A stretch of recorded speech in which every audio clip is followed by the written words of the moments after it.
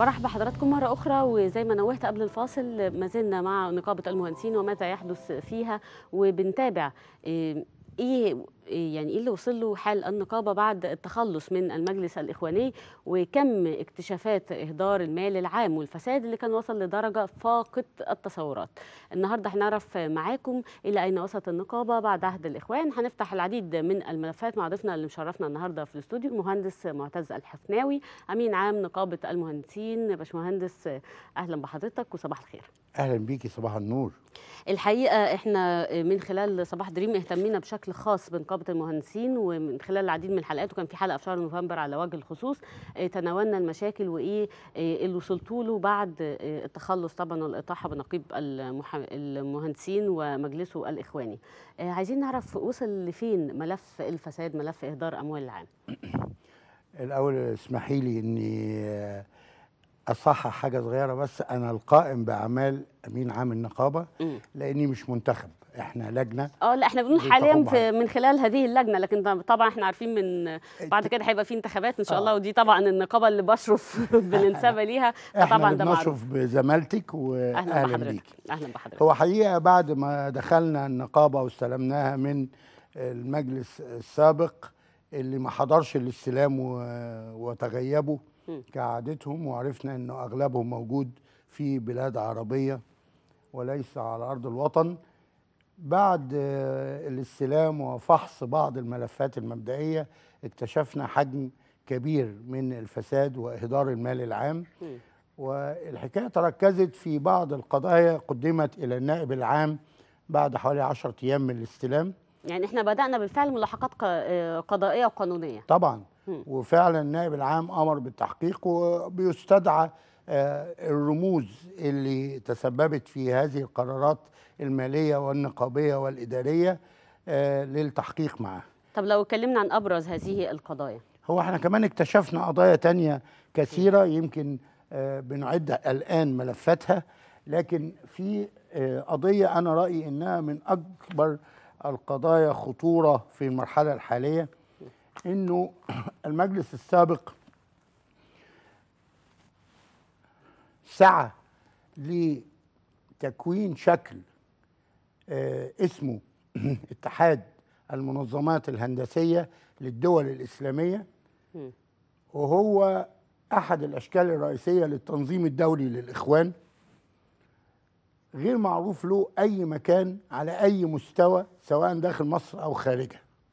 في الوقت اللي أعضاء المكتب سافر أحدهم إلى بلد عربي وصرف حوالي 6000 دولار بدل انتقال وسفر عشان يدفع 3000 دولار اشتراك نقابة المهندسين المصرية في اتحاد المنظمات الهندسية للدول الإسلامية, الإسلامية.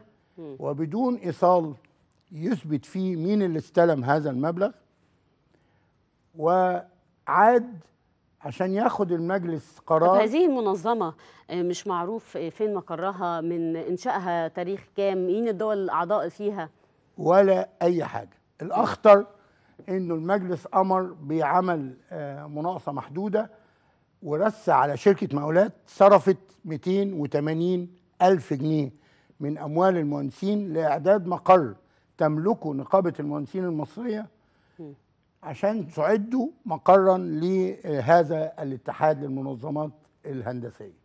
آه ده اتحاد وليد يعني وكانوا بيرتبوا آه إن هو يعملهم هنا على أساس يبقى يعملوا هنا آه بالظبط آه يقال إن له مكتب تمثيل في أحد البلاد العربية في الخليج لكن لم يثبت هذا. ولا يوجد شخص واحد اسمه معروف ولا إيصال مكتوب فيه هذا الشكل اللي اسمه اتحاد المنظمات الهندسية موجود فين ومين اللي بيمثله وبيعمل إيه. نقدر نقول ملوش هيكل لسه إداري ولا أوراق رسمية أو ما شابه. ولا أي مستند داخل نقابة المهندسين يقول إيه السبب في إن إحنا نصرف حوالي 300 ألف جنيه من أموالنا على إعداد مقر يبلغ ملايين الجنيهات كقيمة للمقر ده ونعطله أكتر من سنة على حساب إنه يبقى مقر الاتحاد المنظمات الهندسية. أنا معلش بقطع حضرتك بس أنا بتكلم على يعني أحب أنوه أو بحب أشير إن إحنا بنتكلم على 300 ألف جنيه ممكن كانت تعالج كام أسرة لأن الموضوع طبعا لو هنبص له نقابة المهندسين فإحنا بنتكلم عن نقابة بنتكلم عن علاج بنتكلم عن كل مهندس مثلا إحنا عندنا في مصر في حدود 500 ألف مهندس كل مهندس بنتكلم في أسرة في أربعة فإحنا بندخل في 2 مليون أو 2 مليون ونص مواطن. يعني إحنا بنتكلم النهارده حلقتنا عن 2 ونص مليون مواطن. كان ممكن من خلال ال 200 280 ألف جنيه على الأقل عالجنا مش هقول 10 أسر. ثلاث أربع أسر عندهم أمراض. اتفضل. آه يعني لما المهندس ياخد معاش 450 جنيه يعني إحنا بنتكلم على تقريبا آه 18 ألف جنيه آه في السنة أو آه أو قصدي 6000 جنيه في السنة. يعني 300 ألف دول يعملوا معاش آه مش أقل من 50 آه ألف أسرة. خمسين ألف أسرة معاش. كل دي فلوس آه، اتصرفت بدون وجه حق. آه ده إهدار مال و- وفساد لصالح تو آه، توس- آه، يعني توثيق مكانهم. كما كاتحاد دولي أو كمنظمة للإخوان الدولية في مصر عشان يفضل يفضل من خلال منظماته مسيطر على الحركة النقابية ويتعاون مع الدول الإسلامية اللي آه، في كيان غير موجود إلا بتخطيط من الإخوان المسلمين. إحنا لما دخلنا النقابة أنا لقيت في مكتب الأمين العام علم تركيا جنب علم مصر. علم تركيا جنب علم آه، مصر في نقابة يعني المهندسين لأنه مصر هي أحد ولايات الخلافة التركية فهو ده الشعار اللي رافعينه حاطين علم تركيا جنب علم مصر في مكتب أمين عام نقابة المهندسين هو ده الشكل اللي الإخوان تعاملوا بيه خلال مدة حكمهم في نقابة المهندسين. الحقيقة كنا والله لو عندنا آه، خلفية عن هذا الموضوع كنا لازم آه، المو- الموقف ده يتصور لأن ده أنت بتتكلم في هوية دولة وإن ده هم صحيح. غير اعتراف بهوية دولة خاصة إن إحنا مجرد ولاية آه. تابعة لتركيا. بالظبط كده.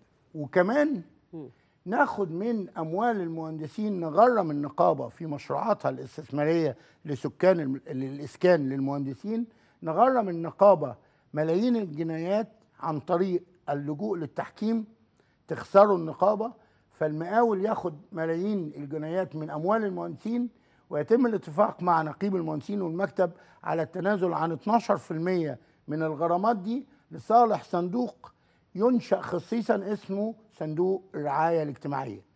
ياخد من صندوق الرعاية الاجتماعية دي ويدي للي اتقتلوا في رابعة وما بعد رابعة ويدي معاش استثنائي 1500 جنيه للمهندس اللي رهن التحقيق وفي الوقت اللي المهندس العادي بياخد 450 جنيه في الشهر فلما طب أنا معلش المعاش اللي بي- بيصرف ل- لرابعة دول للمنتمين للنقابة ولا طبعاً. أي آه يعني مش كده؟ أعضاء في النقابة بس خدوا خدوا كمان حالتين لطلاب في كلية الهندسة ما كانش لسه اتخرج ولا انتسب للنقابة ولا, أصلا. ولا عضو نقابة ولا بيدفع اشتراك ولا يتمتع بأي مزايا مالية داخل النقابة. والمهندس اللي تحت. التحقيق بياخد 1500 جنيه في في نفس الوقت اللي المهندس قضى طول عمره 60 سنة بيخدم بياخد 450 450 جنيه في الشهر. 450 جنيه. ال 1500 جنيه دول الشهري يعني إحنا بنميز المهندس ده رغم إن إحنا عندنا لائحة.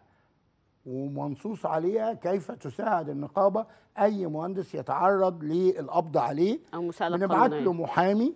يحضر التحقيق معاه. فإذا كانت ال- القضية قضية مهنية بيكمل معاه لغاية المحكمة ما تحكم.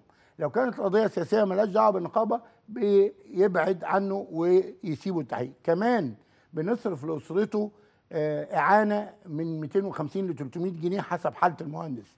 كمان بنقول للمهندس لو أنت عليك أقساط أو التزامات تجاه النقابة النقابة بتأجلها لغاية لما ينتهي فترة التحقيق معاك. دي الامتيازات اللي النقابة بتقف فيها مع أعضائها. كان الامتيازات القانونيه العادية القانونية. بالظبط. آجي بقى أعمل قرار بصرف 1500 جنيه معاش شهري لحد آه تحت التحقيق مقبوض عليه تحت التحقيق وكمان أخلي الموظف يصرف موظف في النقابة اللي مش مهندس يصرف 750 جنيه معاش شهري عشان مقبوض عليه تحت التحقيق في قضايا آه رابعة كل ده وما إحنا بعد بنتكلم رابعة. في أرقام تفوق أرقام معاشات المهندسين بالفعل. آه 2 مليون جنيه اتصرفوا في أربع أشهر على تعويضات القتلى والجرحى والمعاشات الاستثنائية.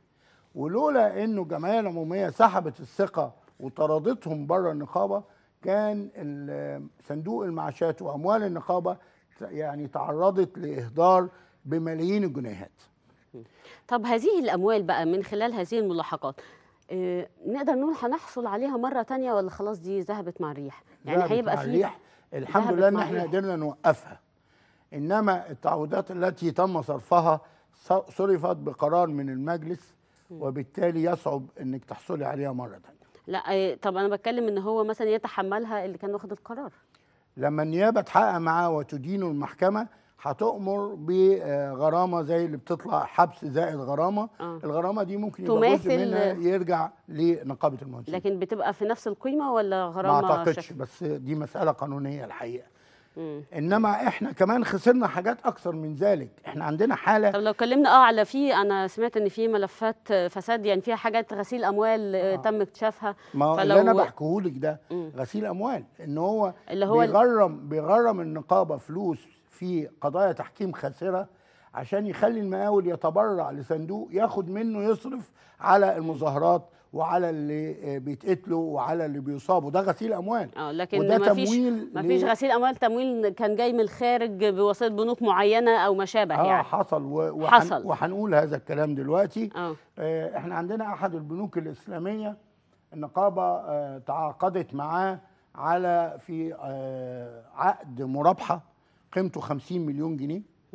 البنك كسب في خلال 8 أشهر 10 مليون جنيه بينما صندوق الاستثمار في النقابة لو إنه مول هذا ال- وحل مكان ال- ال- العقد ده كان ممكن إنه يربح النقابة تربح 12 مليون جنيه وصندوق الاستثمار عنده هذا المبلغ مش محتاج لأي قرض. لكن القرار كان إنه يروح للبنك الإسلامي ده ويعمل عقد المرابحة ده وأعتقد إنه في غسيل أموال جزء من الأرباح يعود إلى آه، تمويل ال ال ال الأحداث الإرهابية اللي بتشهدتها مصر ابتداء من رابعة وحتى اليوم. ما نقدرش نعرف إيه اسم البنك ده؟ لا هو بنك أحد البنوك الإسلامية ومعروف يعني ما هوش محتاج ل آه بالظبط. ما إحنا عشان كده أنا بسأل ليه؟ لأن كل البنوك الإسلامية بتبقى آه، أغلبها ما فيش بنوك خاصة هنا إسلامية. لا، كلها. آه، بنوك تابعة للدولة. لا لا. كلها فيها فروع طب ما نعرف اسمه إيه لا؟ يعني هو معلش اعفيني من ذكر اسمه لكن لأن آه. آه. القضية منظورة في القضاء ومش من مصلحتنا كنقابة إن إحنا نقع في أخطاء قانونية آه تحملنا يعني تبعات قانونية مش هم كويسه على العموم يعني البنوك الخاصة الإسلامية معروفين معدودين على الصوابع يعني لكن في في الأغلب بدل كده يعني ممكن نكون اللي أنا. اقصده اللي أنا. أقصده انه المجلس مارس أعلى درجة من عدم الشفافية وإهدار المال عشان يحصل على أموال تمول النشاطات الإرهابية للجماعة في الشارع على حساب العمل النقابي ودي جريمة لا تغتفر لا على مستوى الجنائي من حيث إهدار الأموال ولا على المستوى النقابي من حيث ممارسة النقابة لصالح جماعة بعينها وطرد مصالح المهندسين وعدم اللجوء لاي طريقة تخدم المهندسين. المهندسين بيطالبوا برفع معاشهم بعمل دراسة إكتوارية لرفع هذا المعاش إلى 1000 جنيه على الأقل بقالنا أكتر من من أيام الحراسة. ولما جاء المجلس كان أحد النقاط الأساسية في جدول أعماله هو في جدوله الانتخابي هو رفع المعاش. قعد السنتين اللي فاتوا يقول ما نقدرش نرفع المعاش. ويحمل فترة الحراسة إن في عجز في آه، أموال النقابة وفي صندوق المعاشات نتيجة لإنه اترفع 100 جنيه آه، بواسطة اللجنة قبل ما يجي المجلس. في الوقت ده بيصرف 2 مليون جنيه في معاشات استثنائية للناس بتوعه وعندنا الأسماء بالكامل. وبتوقيع من أعضاء المكتب والمسؤولين عن صرف الأموال بتوقيعهم لصرف هذه المعاشات وهي جرائم أتصور انهم هيدخلوا بيها السجن قريبا. طب لو اتكلمنا على الفساد الإداري كان في آه. فساد إداري. آه. النقابة المكتب آه، هيئة المكتب كلفت أحد الشركات بعمل حاجة ما تسمى بالهيكلة الإدارية للنقابة لأن هم كان رأيهم إنه النقابة آه، مش قادرة تعمل آه، يعني كفاءة في الخدمات المقدمة للمهندسين. فأدت لهذه الشركة 150 ألف جنيه عشان تعمل هذه الهيكلة. والشركة قدمت أول مسودة للهيكلة في شهر 8 2013 اتحطت الهيكلة في الدرج لغاية لما ابتدوا يشعروا بإن الأرض بتتخل تتزلزل من تحتهم وإنه في جمعية عمومية ممكن تطردهم بره النقابة. طلعوا من الدرج الهيكلة وراحوا مصدرين 150 قرار إداري بتعيين مديرين عموم ومديري إدارات من الرجالة بتاعتهم للسيطرة على اخوانا. للنقابه بقى آه. وكلفوا النقابة. مستحقات مالية نتيجة لهذه الوكاله أكثر من مليون جنيه في السنة بالقرارات اللي آه، اتخذت في أسبوع واحد قبل عقد الجمعية العمومية ب 15 يوم ب 15 ب يوم 15 فقط. يوم لما حسوا لما إنه حسوا إن هم خلاص خلاص هيمشوا. فقالوا إن هو ف- يبقى لهم أعضاء حرق الأرض بقى سياسة الأرض مم. المحروقة مم. أنا آه، يبقى يجي يوريني هيمشيها إزاي فإحنا فوجئنا بمجموعة من القرارات الغير قانونية اللي لا تعتمد على الكفاءة واللي بالذات موجهة للناس اللي بيدينوا بالولاء لهذه الجماعة ولهذا المجلس طب هل سيتم مراجعة هذه القرارات؟ تم في الفعل. وتم إيقاف أكثر القرارات آه، التي اتضح فيها فساد وخروج عن القانون واللائحة. وتم إحالة أصحابها إلى التحقيق. وتم آه، إعطاء بعض الجزاءات بالنقل للي حاول إنه يزور أو يخفي أسرار المجلس السابق عن اللجنة التي تدير النقابة الآن. وهذه الهيكلة آه، تقريبا فيما عدا الحالات الجيدة من الموظفين المحترمين اللي يستحقوا مناصبهم الجديدة آه، واللي إحنا بندعمهم وبنقول لهم إنه ما تخافوش على الوضع الجديد اللي أنتوا خدتوه لأنكم تستاهلوه. آه، كل اللي من لا يستحق ده آه، أزيح من من مكانه والغرض من السيطرة على الإدارات العمومية في النقابة هو إمكان السيطرة على النقابة واستكشاف أي قرار إداري تاخده أي جهة لو هم مش موجودين في النقابة بالظبط وده بالظبط. لصالح إنهم يعودوا مرة تانية وهو ده كان المخطط اللي طبعا بي- هخرج بيلجأوا لهاتف ليه. وهرجع لحضرتك عشان أعرف كمان عايزين نعرف موقف النقابات الفرعية. آه، معنا على الهاتف الدكتور مهندس هشام عرفات استشاري الهيئة العامة للطرق والكباري دكتور هشام صباح الخير. صباح النور يا فندم آه، معلش ممكن الصوت آه، سنة من فضلكم؟ صباح الخير يا فندم صباح الخير دكتور هشام. إحنا النهارده بنتكلم عن ملف الفساد وأيضا الإطاحة بال نقول بالنقيب ومجلسه الإخواني في نقابة المهندسين. وطبعا كان فيها العديد من المخالفات. إحنا بنتكلم عن موقف النقابة حاليا وكم هذا الفساد اللي تم اكتشافه في النقابة. تمام. شايف مستقبل النقابة آه، إزاي بعد آه، الإطاحة بالإخوان؟ والله هو يعني ال- كانت الفترة اللي فاتت النقابة كانت ماشية في اتجاه آه، يعني بعيد شوية عن المنوط بيها ك- كنقابة مهنية.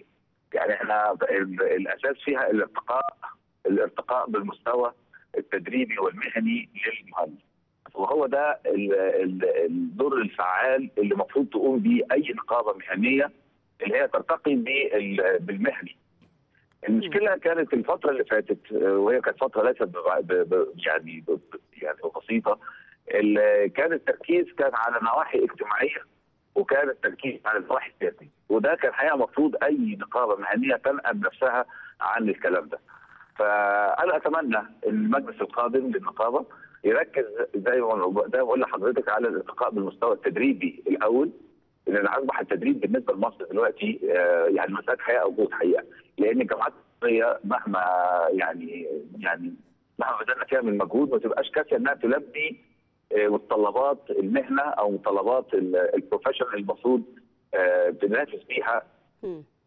فالفكرة آه، إحنا مثلا في دول الخليج آه، المهندس المصري معروف جدا في الدول دول دول الخليج بس بيحتاج بعض الدورات التدريبية عشان يثقل قبل ما ينتقل إلى دول الخليج. آه، وكذلك برضو بالنسبة للمستويات اللي واجب إن المهندس المصري يحصل عليها من من دورات تدريبية قبل ان هو يخوض بعض المشاريع القومية اللي اللي إحنا بنتكلم دلوقتي على مشاريع تنمية إقليم قناة السويس وده ده مشروع ما هوش ما هوش سهل هيبقى فيه كل التريد يعني كل التخصصات الهندسة الهندسة المدنية والهندسة ال- ال- المعماريه والهندسة الميكانيكيه والهندسة الكهربائيه فاحنا لازم نعد الكلام ده هو كمجلس نقابه مهندسين.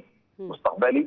لأن هو يخوض المشاريع القومية اللي إن شاء الله ال- طب بالنسبة بقى لمجلس نقابة المهندسين إحنا داخلين على انتخابات وبعد ثلاث شهور إحنا شفنا إن سحب الثقة كان ب 52% ل 48% حضرتك مش قلقان لعودة المجلس الإخواني مرة أخرى؟ وهل سنشهد نوع من التكتلات أو قائمة موحدة لمنع رجوع الإخوان مرة أخرى أو سيطرتهم على النقابة؟ والله هو يعني أنا يعني أنا حاسس دلوقتي المهندس المصري اختلف عن المهندس زمان. بناحية إيه؟ ان هو المهندس المصري دلوقتي بعد ثورة آه، يونيو عارف دلوقتي إيه المفروض يقوم بيها؟ يعني هو حقيقة كان الحقيقة أنا شفت ال في ال في ال الجمعية العمومية الطارئة اللي كانت اتعملت من حوالي شهرين واتشال في المجلس القديم ما كانش حد كان متخيل إن هيحصل تغيير. فده أنا اللي عايز أقوله إن المهندس المصري لما بيحس إن في خطر على مهنته وخطر على آه، يعني بلده بيتدخل.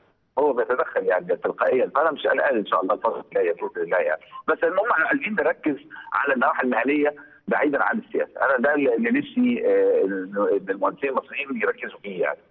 نركز على النواحي الماليه يا جماعة. هو ده ده السبيل الوحيد اللي إحنا نخدم بلدنا. يعني. بالتأكيد هو ده السبيل إن إحنا نخدم بلدنا. دكتور مهندس هشام عرفات استشاري الهيئة العامة للطرق والكباري جزيل الشكر. وبنعتذر طبعا للسادة المشاهدين عن الصوت إلى حد ما كان فيه مشكلة لكن علشان الاتصال كان من الخارج فده يعني أحسن صوت حاولنا التوصل إليه. هنخرج لفاصل وهنرجع مرة أخرى عشان نعرف موقف النقابات الفرعية بعد الإطاحة بالإخوان. انتظرونا.